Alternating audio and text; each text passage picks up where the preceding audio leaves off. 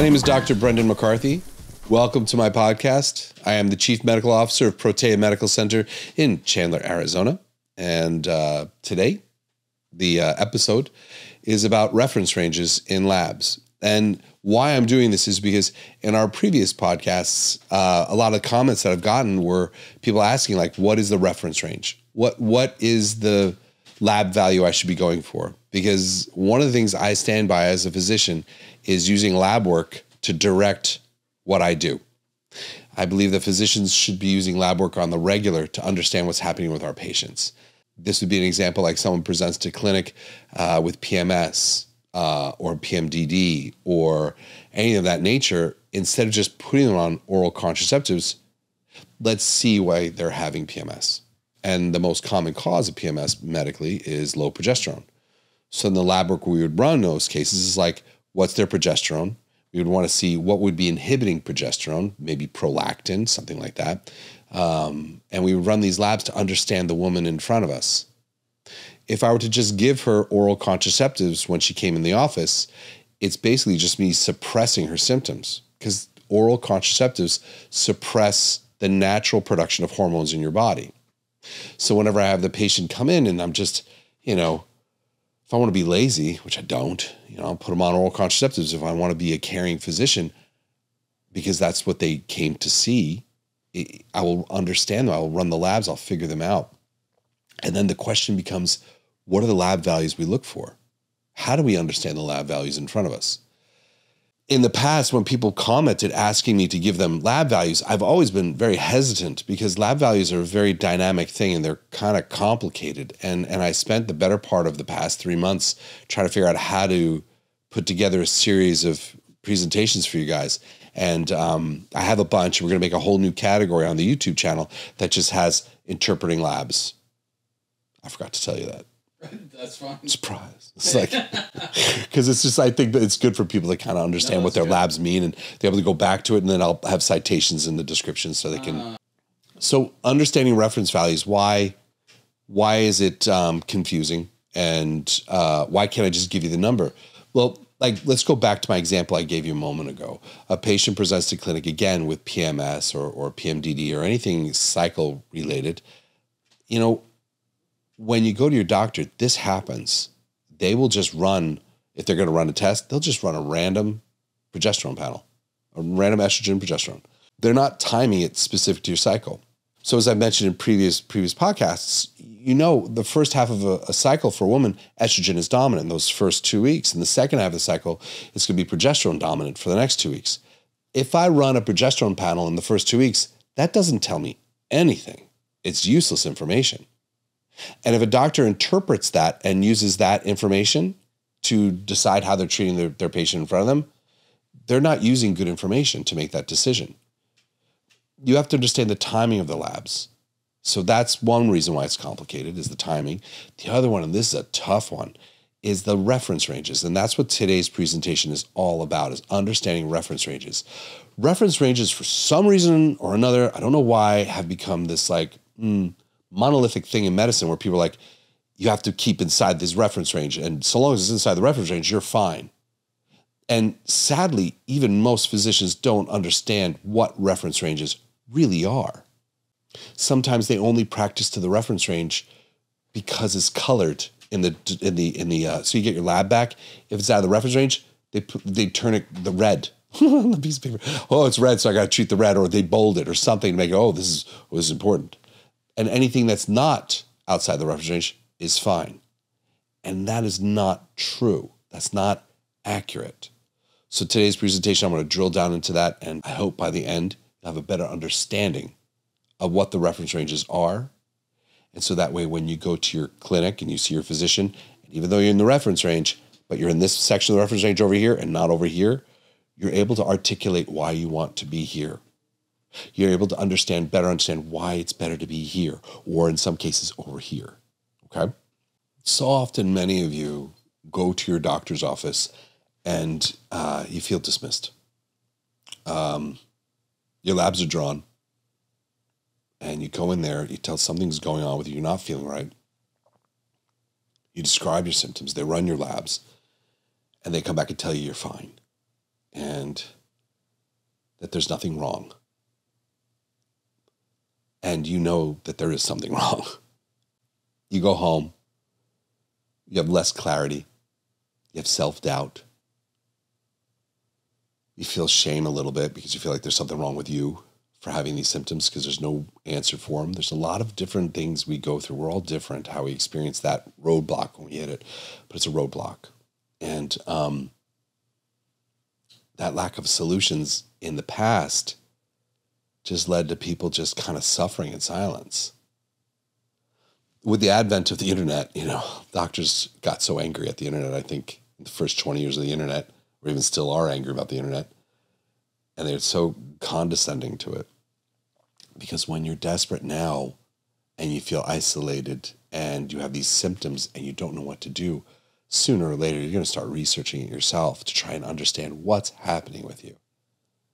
And so you spend time on the internet trying to grasp what's going on and, and you investigate your symptoms and, and you find that your symptoms match a certain pathology. Like if you look up that you have PMS and you have these really bad periods and you're, you're, you're and you're anxious, you're irritable and you're upset, that's PMS, you know? And you look it up and the most common cause of that's going to be low progesterone. So then you go to your doctor and say, you know, my, my progesterone is seems like it would be off. I'd like to run my progesterone. And then they run the lab and say they run at the wrong time of the month and or any time of the month. Because this is where it gets weird, is they'll say that your progesterone range throughout the month, it's normal in the first half of the cycle for it to be like 0.2. That's okay in the first half of the cycle. The second half of the cycle, the height of it is 23.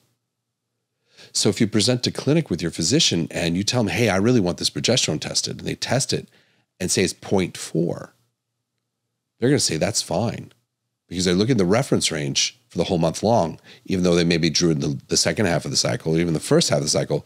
But still, they're going to say because 0.2 is normal to, to 23, say, you're in that range. I know that sounds so complicated. And in a way it is, but but I use this analogy with my patients all the time. If I were to go to your place of work and try and do your job, I would probably do a terrible job. And that doesn't mean you're working at a job too. That could be like at your house, you know, if you're raising kids and stuff. I'm trying to figure out your rhythm and, and how you do things, your steps, your day progression. I would do horrible at it, right? And and and I wouldn't figure it out. And any job I just jumped into. But if you spent time with me and you taught me how to do your job and you trained me, I could, after a while, pick it up pretty good. Medicine's the same way. There's a lot of arrogance in medicine. So they'll be like, you can never figure this out. This is beyond you. I don't agree. This is not some magic that we perform. This is not, you know, some kind of strange thing. This is it's pretty straightforward stuff. I'll be honest with you. Um, and I believe in my heart that if I spend time with you and explain these things with repetition and as clear as possible and from as many different perspectives as I can, you will understand this. And in truth, you deserve to understand this. So when you go back to your doctor and and you tell me we're on that progesterone panel because you think that's what's wrong, and they run it and they tell you you're normal, even though it isn't normal because they're not verifying the time of the month it was done, and they're not verifying the reference range that's appropriate to the time that you drew the lab and they're just basically saying you're within this range, they're just flat out invalidating and you, you, you get sent back home again. And that's just, most of you, that's what I hear. That sense of like hopelessness. And then what do you do? You look up online, you know, going out there and buying a bunch of supplements that they say are going to help you because that's where you're left to now. And, and sometimes those supplements will help, but I mean, come on, you know, look out on the internet. There's a lot of garbage out there. You know, there's a lot of people that are preying upon you because you're not getting really good care. And I'm not against supplements at all. I'm against using things that you don't need. There'll be people who'll be taking um, some herb or some nutrient, some vitamin, and it's not that it's bad. It's just that it's not specific to you or what you need. You know, and and taking that, you won't have any results.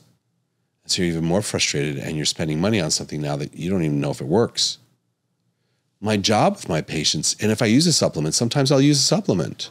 You know, I just did with a patient. I was giving this one supplement. It was a, uh, uh, saw palmetto to lower something called dihydrotestosterone, and you know, 30 days after using it, their dihydrotestosterone went down by 30 percent. So I used a supplement. I ran the labs before and after, and I verified it worked. So even using supplements, you want your doctor by your side. You know, you don't want someone invalidating you and sending you off into the wilderness to figure this out on your own. How do we get to this place? How, how do we get here? How do we get here in medicine? Where does this where does this all happen? Think about reference ranges, and this is the truth, and this is a moment of clarity for you and everyone out there. Reference ranges are based upon 95% of the population. They take a whole bunch of people and they put them together and they run their labs. And anybody in the top 2.5% is considered too high. And anybody in the bottom 2.5% is considered too low. If you're within 95% of the average, you're fine. That's it. That's what a reference range is. It's the average of the population. And for some reason or other, they believe that people at the top 2.5 and the bottom 2.5 must be sick. This makes zero sense. Zero sense whatsoever when it comes to treating medically. Now, if we're going to look at it from an odds perspective, you can say, okay, it is true. If you're outside that reference range, you are above the the 2.5 or the the 2.5 either way that you're you're you're outside the normal range. But that does not define pathology. And if you're in the middle of it and you're considered in the normal range that still does not define pathology. It's just the statistic is different. It has to be seen that way. Thyroid which we're going to do a great presentation on shortly in the next one thyroid T3 active hormone that does all the work reference range is 2.0 to 4.8. Okay. The woman at 4.8 feels very different from the woman at 2.0. The woman at 4.8 scores higher on memory tests than the woman at 2.0 consistently. The woman at 4.8 is better cardiovascular health than the woman at 2.0. There are so many reasons why you'd want to put the person here. Now, here's where it gets interesting if you present to clinic, you see your doctor, you're at 2.1, 2.2, your doctor's like, nah, you're fine. You're normal. You're in the normal range. You're in the average range, but that doesn't mean you're not suffering from pathology. All too often, they wait for you to cross that magic number of 2.0 before they treat for the thyroid. If they're using T3, which often they don't, but still, a lot of times you see your doctor wait till you cross a magic line before they treat. And you're not binary. There's not a magic gateway that happens when you cross that one threshold. As you move along the spectra with your health, your health suffers along the spectra like a frog in the pot, so to speak. The hotter it gets, the worse it is. But you shouldn't wait till it boils. As soon as you see the temperature going up, you need to correct the issue. So, so these reference ranges are very much considered like on and off. If you're in it, you're fine. If you're not in it, you're not fine. And again, you are a human being on a spectra, and your wellness occurs inside that that that that curve, inside that range. You're in there somewhere as your optimal health. That's the job of the physician to figure that out. Another thing that comes back to these reference ranges is these reference ranges were developed non-specific to women. You know, I'll just speak to my base. I know most of the people who watch this are women, so just let's speak to you very clearly on this you know, some of the reference ranges are separated for men and women, like sex hormones like progesterone and, and testosterone and estrogen. Okay, that is separated out. But a lot of them are not. They're just universal, men and women. Thyroid is one of those. Cortisol is another one. They're just, but we know that women are different than men. We know this. But they haven't done enough research and they have not separated you out by your sexes yet, which they should for most labs why is this so important? This is another reason why this is so important. 80% of the decisions that doctors make on average, statistically speaking, 80% of decisions doctors make are based upon information provided on laboratory reports. You know, 80% of our decisions are based upon laboratory reports. And these laboratory reports are generated. And if a doctor sees you outside of the range, that's when they're going to treat you. And they rely on that range. And that range, as I mentioned, is only based upon averages and not specific to you as a woman, just specific to humanity on average. Another thing that I think it's important for us to let sink in is, is that the reference ranges have been consistently changing over time. And that's because the health of our population has been changing over time. Blood sugar averages seem to be changing. Um, recently, there was a change in the, the reference ranges for carbon dioxide, moving people to being a little bit more acidic on the reference ranges. There's been um, reference ranges to uh, the glucose um, that was recently increased. Um, LabCorp in 2017 uh, changed the reference range of testosterone for men. And that was not based upon what's healthy, it was based upon what's average. And we all know that the reference ranges for testosterone are going down for men because, you know, testosterone levels are going down and, and sperm counts are going down. And, and we know blood sugar is going up. So instead of staying saying the reference range was made based upon research on what's healthy, we're doing the reference range based upon what's average. As the average becomes less healthy, we're going to keep you in that reference range. So now the reference ranges you're being given are not always what's healthy. It's more based upon what's normal, which is really weird. I want to quote something from the British Medical Journal they published um, in 2018. I think they knocked it out of the park with this. You know, it is often assumed that a result outside the limit signals disease and a result within health. Um, However, this range is correctly termed the reference interval. The clinical risk from a measured value is continuous, not binary. Binary. Uh, the reference interval provides a point of reference against which to interpret an individual's results rather than defining the normality itself.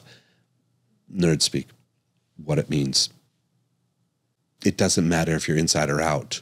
What matters is, is your health and and me understanding you within that curve and interpreting you within that range and your symptoms relative to it. It's so important to see you as an individual every single time. So, the takeaway from this is that even though you're inside the reference range, that does not mean that you're ideal. And just because you're in the reference range doesn't mean that what you're experiencing is not valid. Also, if you're outside the reference range, that doesn't mean you're unhealthy you are an individual and you need to be treated as an individual. And you want your doctor to understand you as an individual. When your physician has a really good grasp on pathology and physiology and, you know, whatever field you're, you're experiencing, whatever your field you're seeing your physician for, in this case, endocrinology, your physician should understand the interplay between all of these hormones, all these chemicals they're testing for, all these compounds that are natural to your body. They should understand the interplay between all of them and understand how your symptoms fit into those. And they should understand how to make a shift to those that would adjust how you feel. That is why we went to medical school. Any monkey can look at an algorithm when you walk in the door and say, PMS, dysmenorrhea, birth control. Any monkey can do that. That's not medicine. Medicine is figuring you out. So, labs are essential. Understanding the reference ranges and why the reference ranges are there are a key component to starting our, our, our it's like I'm building a foundation for us.